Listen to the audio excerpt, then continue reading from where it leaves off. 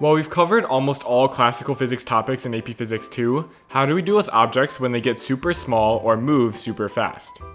In this video, we'll run through a couple of the more modern physics topics covered in the AP Physics 2 curriculum. While each of these respective fields can get extremely complicated and actually are being researched more as we speak, the material covered in this class might seem weird at first, but is not too difficult to grasp. Let's first dive into a topic you may have learned about from your chemistry class, nuclear or atomic physics. As you probably have heard, atoms are structured with a central nucleus made of neutrons and protons, with electrons that orbit the nucleus at discrete energy levels, which we'll represent through the Bohr model, different rings where electrons orbit representing different energy levels.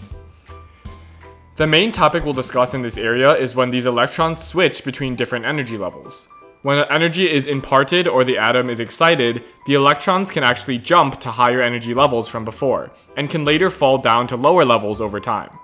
When these electrons drop energy levels, the released energy is emitted as light or photons, with the frequency given by this equation. The little letter h here represents Planck's constant, which has a value shown here.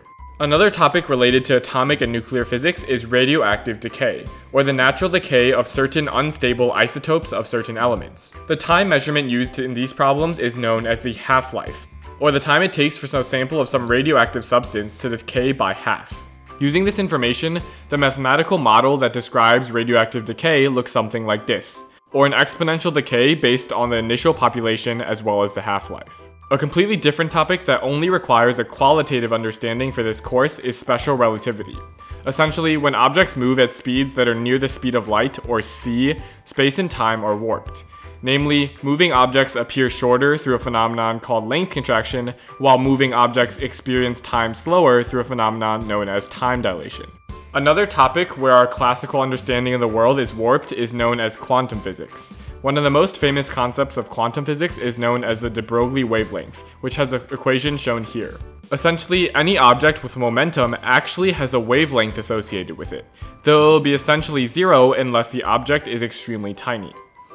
Though this leads to phenomena such as the wave-particle duality of certain objects and diffraction patterns, you'll only need to know the formula itself for your test problems. The final topic covered in this modern physics unit is called the photoelectric effect.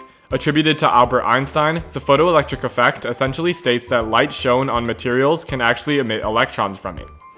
The equation governing the kinetic energy of these electrons emitted is shown here, where this quantity here is known as the work function and is a property of the material itself. Essentially, once the energy of the photons or light exceeds this barrier called the work function, electrons are emitted with some kinetic energy, where the intensity of the photons or quantity of light actually has no effect whatsoever on the kinetic energy of electrons emitted. With that, you can feel good about learning a crash course in topics like atomic and nuclear physics, special relativity, quantum physics, and the photoelectric effect.